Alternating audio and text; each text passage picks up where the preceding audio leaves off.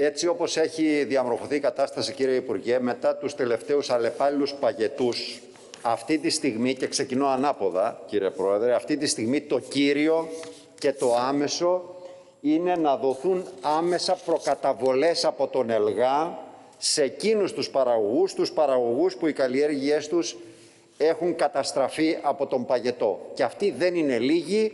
Πριν από λίγο πήραμε μια εικόνα και από την Ηλία. Είναι σχεδόν σε όλη τη χώρα. Αυτό είναι το άμεσο και το κύριο κατά την άποψή μας. Τώρα, όταν κατατέθηκε η ερώτηση αυτή, είχε υπάρξει μονάχα ο παγετός στις 24, 25 και 26 του Μάρτη. Στη συνέχεια όμως προέκυψε ακόμα ένας παγετός στις 9 του Απρίλη, ο οποίος ε, προκάλεσε καταστροφές σε πάρα πολλές περιοχές της χώρας. Όλα όσα θα πούμε λοιπόν, εντάξει και όλα όσα γράφονται στη γραπτή μας επίκαιρη ερώτηση κύριε Υπουργέ, αφορούν βέβαια τη Βόρεια Ελλάδα και συγκεκριμένα τους νομούς της Πέλας, της Ημαθίας και της Φλόρινας, αλλά έχουν γενικότερη ισχύ ε, για όλες τις περιπτώσεις των αποζημιώσεων λόγω φυσικών καταστροφών. Ο παγετός λοιπόν που έπληξε την περιοχή εκεί της Πέλας, κυρίως της Συμμαθίας και του Αμυντέου, ήταν, ήτανε πολύ, πολύ βαρύς και αρκεί να σας πω ότι στα Γιαννιτσά η θερμοκρασία έφτασε μέχρι και τους μείον 4 βαθμούς, για τέλη του Μάρτη μιλάμε τώρα, και η ζημιά βεβαίως στα Βερίκοκα και στα Νεκταρίνια ήταν καθολική. Μεγάλες ζημιές προκλήθηκαν στις καλλιέργειες της Ροδακινιάς, της Δαμασκινιάς, σε πρώιμα ανθισμένες καλλιέργειες αχλαδιάς, αλλά και στις ε, κερασιές, ενώ ε, προκλήθηκαν και ζημιές εκτεταμένες σε καλλιέργειες ακτινιδίων που βρίσκονται σε εκείνο το ιδιαίτερο στάδιο που φουσκώνουν οι οφθαλμοί.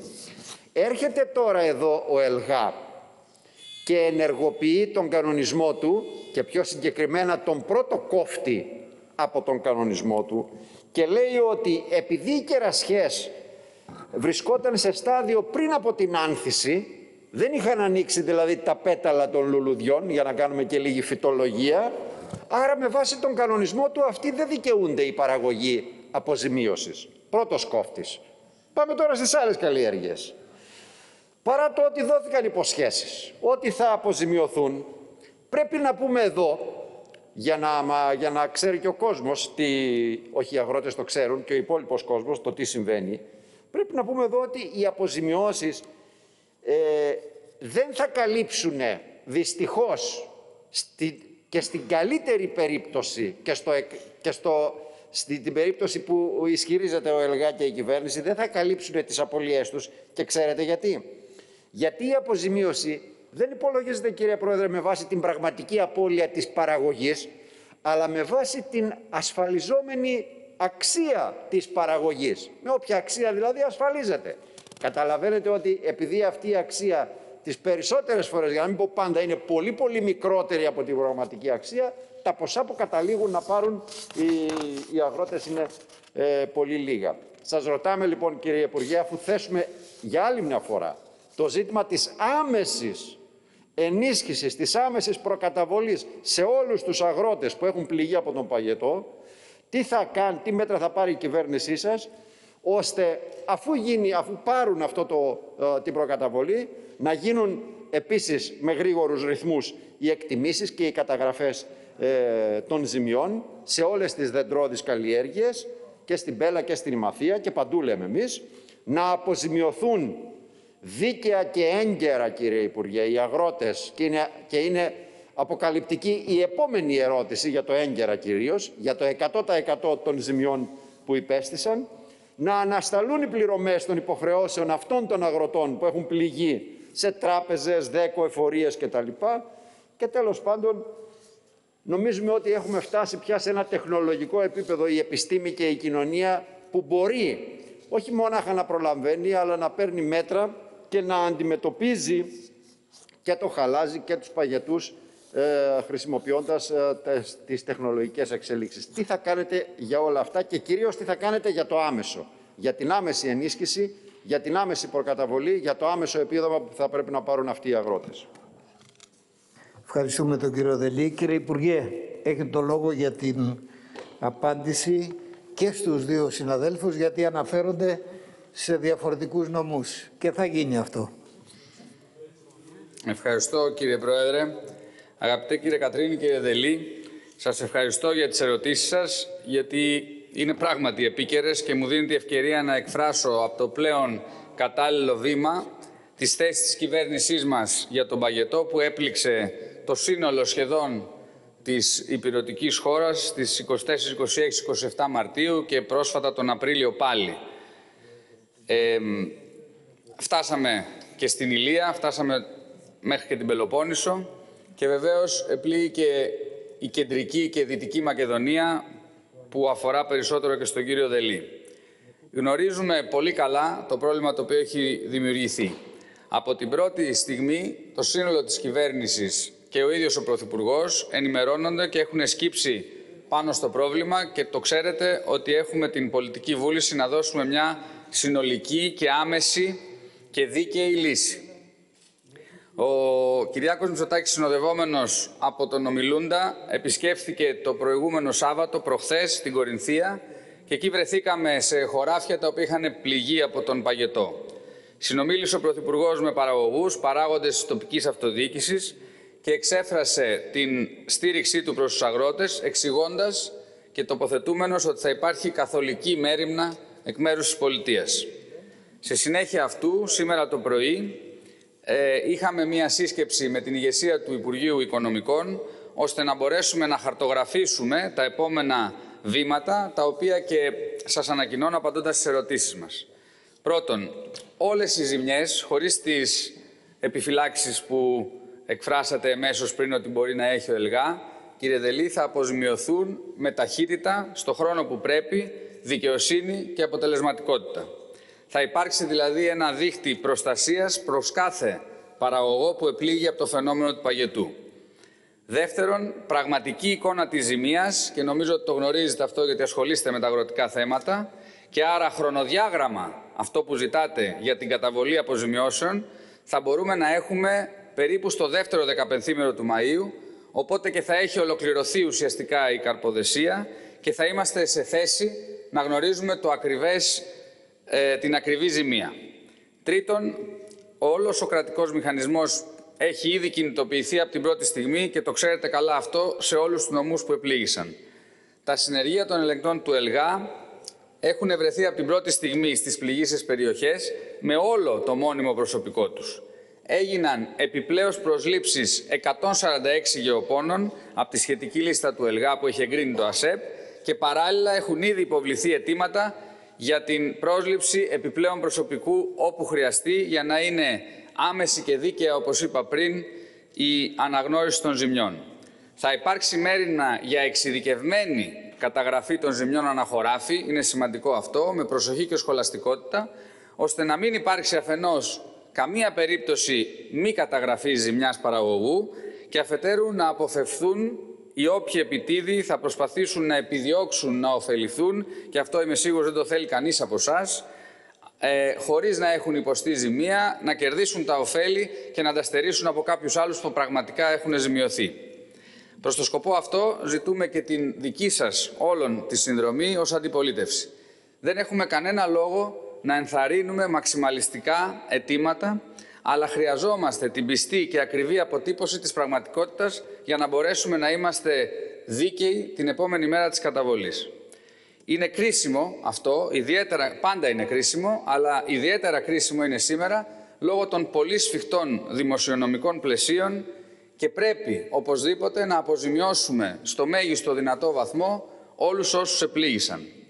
Το απόλυτο νοικοκύρεμα στα οικονομικά του ΕΛΓΑ τα τελευταία δύο χρόνια, το οποίο νομίζω ότι είναι αδιαφυσβήτητο, η ταχύτητα στην αντιμετώπιση όλων των τελευταίων φυσικών καταστροφών και η πρωτοφανής καταβολή σε μία δόση του συνόλου της αποζημίωσης για τις ζημιές του 20 αποτελούν μία εγγύηση για την αποτελεσματική λειτουργία του οργανισμού, αφήνοντας στο παρελθόν τις γνωστές καθυστερήσεις και τις ταλαιπωρίες που υπέστησαν όλοι οι αγρότες μας. Τέταρτον, θέλω να καταστήσω σαφές ότι ο επαναλαμβανόμενος παγετός, μοναδικό φαινόμενο πράγματι τα τελευταία 15 χρόνια, είναι ένα ακραίο καιρικό φαινόμενο και ως τέτοιο θα αντιμετωπιστεί μέσα από το πλαίσιο του ΕΛΓΑ με όποια κρατική αρρωγή χρειαστεί, με νομιμότητα όμως και αποτελεσματικότητα. Πέμπτον, ήδη έχω αναλάβει πρωτοβουλία επικοινωνίας και συνεργασίας προς τους ομολόγους μου υπουργούς ε, Γεωργίας και Αγροτικής Ανάπτυξης στην Ευρώπη, διότι πολλές χώρες του Νότου αλλά και της Κεντρικής Ευρώπης έχουν πληγεί από τους φετινούς παγετούς, ώστε να έχουμε μια κοινή αντίδραση σε επίπεδο Ευρωπαϊκής Ένωσης, διεκδίκησης και εξέβρεσης συνέχεια κονδυλίων για τις αποζημιώσεις αυτού του φαινομένου στην προσπάθεια που θέλουμε να ε, βρούμε περισσότερα χρήματα για να μπορέσουμε να αποζημιώσουμε τους, ε, τους παραγωγούς σε όλη την Ελλάδα που επλήγησαν και σε αυτό θέλουμε και την αρρωγή των δικών σας ε, βουλευτών στην Ευρωπαϊκή Ένωση για να λειτουργήσουμε όλοι μαζί ε, ως ε, μοχλός πίεσης στα ευρωπαϊκά φόρα. Κυρίες και κύριοι, η κυβέρνηση του Κυριάκου Μητσοτάκη προσπαθεί και νομίζω ότι το έχει καταφέρει σε ένα πολύ μεγάλο βαθμό να υλοποιήσει το ακέραιο τις εξαγγελίες της. Τηρούμε τη δέσμευσή μας, όπως κάναμε και το προηγούμενο διάστημα, ότι δεν θα αφήσουμε όσους επλήγησαν από το βαγετό χωρίς βοήθεια. Χτίζουμε με αυτόν τον τρόπο, αυτή είναι η προσπάθειά μας, άρρηκτους δεσμούς εμπιστοσύνης με τους Έλληνες αγρότες. Εφαρμόζουμε αυτό το οποίο είχαμε δηλαδή ως κεντρικό σύνθημα, ότι πρέπει να προχωρήσουμε όλοι μαζί σε αυτήν την προσπάθεια, να αντιμετωπίσουμε όλα αυτά που αφήνει πίσω της η πανδημία στον ευαίσθητο χώρο των αγροτών και είναι πολλά και αυτό προσπαθούμε να κάνουμε με τα σφιχτά δημοσιονομικά πλαίσια τα οποία έχουμε και ταυτόχρονα να μπορούμε να αντιμετωπίσουμε σκληρά καιρικά φαινόμενα στα οποία είναι έκθετοι όλοι οι αγρότες και οι αγρότησές μας, δυστυχώς ακόμα παρά την τεχνολογία, αγαπητέ κύριε συνάδελφε, και να μπορέσουμε λοιπόν να προχωρήσουμε όλοι μαζί, βγαίνοντας από αυτήν την κρίση στις οποίες τα τελευταία βήματα, τα τελευταία μέτρα βρισκόμαστε, για να μπούμε σε μια φάση ανάπτυξης. Αυτή είναι η προσπάθεια την οποία κάνουμε στο Υπουργείο Αγροτικής Ανάπτυξης και σε αυτήν την κατεύθυνση οποιασδήποτε σκέψεις έχετε και δυνατότητες για να βοηθήσουμε ε, και τον ΕΛΓΑ αν έχετε κάποιες, ε, κάποια, ε, κάποιες ιδέες τις οποίες εμείς δεν έχουμε σκεφτεί για να μπορέσουμε να καλύψουμε ε, όσο πιο γρήγορα γίνεται τις ανάγκες που έχουν δημιουργηθεί είμαι απολύτως ανοιχτός να τις συζητήσουμε και εδώ και κατηδίαν όποτε θέλετε. Ευχαριστώ. Μετά τους τελευταίους παγετούς, τους αλλεπάλληλους κύριε Υπουργέ, και μετά τις εκτεταμένες καταστροφές που απλώνονται σε όλη τη χώρα, η εικόνα, ξέρετε, που υπάρχει και την ξέρετε πολύ καλά και εσείς, είναι ότι οι ζημιές είναι τεράστιες πραγματικά και ότι για να ανταποκριθεί ο ΕΛΓΑ στις αποζημιώσεις αυτών των αγροτών θα πρέπει να ενισχυθεί η χρηματοδότησή του. Αυτό ακριβώς σας ζητήσαμε και αυτό είναι μια πάρα πολύ δημιουργική πρόταση προς εσάς, μια που μας ζητάτε και προτάσεις.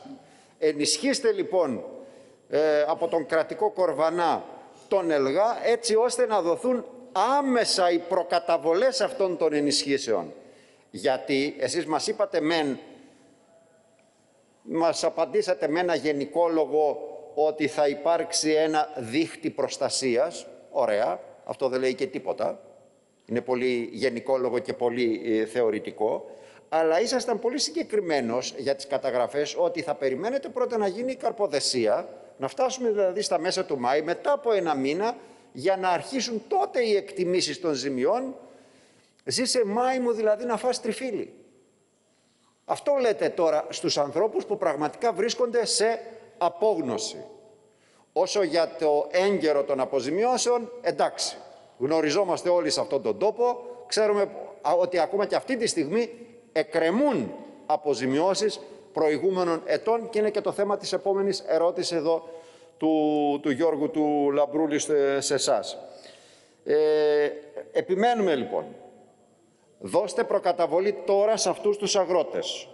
Και θα πρέπει βεβαίως να παρακαμφθεί, έκανα μία ανοίξη στην πρωτολογία, θα γίνω λιγάκι πιο αναλυτικός κύριε Πρόεδρε, σε σχέση με τον κανονισμό του ΕΛΓΑ, που δεν είναι τίποτε άλλο παρά ένα περιβόλι από κόφτες που να μειώνει αυτές τις αποζημιώσεις που δικαιούνται οι αγρότες. Να φέρω ορισμένα παραδείγματα. Δεν είναι μόνο ότι καλύπτονται οι ζημιές από την άνθηση και μετά, όχι δηλαδή τα μπουμπούκια να ανοίξουν τα πέταλα και μετά υπολογίζονται οι ζημιές, είναι και το ότι με βάση το άρθρο 9 του κανονισμού του ΕΛΓΑ, οι ζημιές που καλύπτονται δεν καλύπτονται στο 100% αλλά καλύπτονται από το 30% και πάνω και αυτό το 70 δηλαδή της 100 και αυτό στο 88% το 70% δηλαδή 62% περίπου. Αυτό είναι, η- αυτή είναι η συνολική, το ανώτερο ύψος που μπορεί να πάρει η αποζημίωση. Και όπως είπα και στην πρωτολογία, ε, ο τρίτος κόφτης είναι ότι δεν υπολογίζεται η πραγματική ζημιά, η ζημιά δηλαδή της ε, παραγωγής, αλλά η, δι- η ασφαλιστική τιμή, η, η ασφαλιστική τιμή αυτής της ε, ζημιάς. Αυτό που πρέπει να γίνει για να πάρουν επιτέλους οι αγρότες και το ζητάνε εδώ και πάρα πολύ καιρό, τελειώνω κύριε Πρόεδρε, τα, το 100% της αποζημίωσης που δικαιούνται στο κάτω-κάτω είναι ότι θα πρέπει να ενισχυθεί, να χρηματοδοτηθεί γενναία ο ΕΛΓΑ από τον κρατικό προϋπολογισμό επιτέλους. Είναι γνωστή η τακτική όλων των, Ελλ- των κυβερνήσεων τα τελευταία χρόνια για την υποχρηματοδότηση αυτού του οργανισμού και βεβαίως, όπως καταλαβαίνετε κύριε Υπουργέ, δίκαιες αποζημιώσεις. Αποζημιώσεις 100% με τέτοιους κόφτες δεν μπορούν να υπάρξουν, πρέπει να καταργηθούν. Αυτό σας ζητάμε και εμείς. Και μην μας πείτε ότι η κυβέρνησή σας έδωσε μερικά εκατομμύρια, όχι δηλαδή τις υποχρεώσεις σας, τις υποχρεώσεις τις κυβερνητικές να τις εμφανίζετε και ως χάρη. Είναι υποχρέωσή σας και με βάση τον νόμο που κι εσείς ψηφίσατε να ενισχύει η κυβέρνηση αυτόν τον οργανισμό, τον ΕΛΓΑ, για να ανταποκρίνεται. Τα χρέη, τα συσσωρευμένα χρέη των κυβερνήσεων, κύριε Πρόεδρε, στον ΕΛΓΑ ξεπερνάνε τα 350 εκατομμύρια. Και έχει- έχουν πολλά να δώσουν ακόμα οι κυβερνήσεις για να καλύψουν αυτά τα χρέη. Ε, βέβαια πρέπει να σας α, ενημερώσουμε, αν και φαντάζομαι ότι το ξέρετε ήδη, ότι και οι αγρότες βέβαια που βρίσκονται σε αυτήν την άσχημη, στην τραγική κατάσταση και ζουν πραγματικά ώρες αγωνίες, αγωνίας, δεν κάθονται με σταυρωμένα τα χέρια, οργανώνονται, ήδη οργανώνονται κινητοποιήσεις σε όλη τη χώρα για να διεκδικήσουν τα δικαιώματά τους και πολύ καλά κάνουν. Και έτσι πρέπει να κάνουν. Δώστε λοιπόν χρήματα στον ΕΛΓΑ, δώστε τους προκαταβολές, να τρέξουν γρήγορα όλα αυτά τα ζητήματα και να πάρουν οι άνθρωποι τις αποζημιώσεις που δικαιούνται. Ευχαριστώ.